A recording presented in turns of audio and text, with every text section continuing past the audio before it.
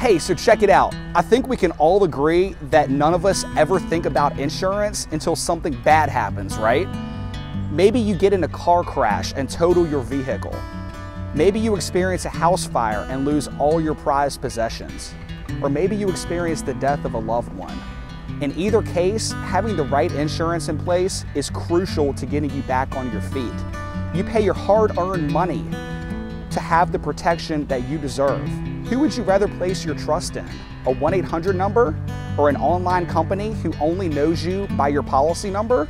Or a trusted local agent who knows you personally by name? I think we all know the answer to that question.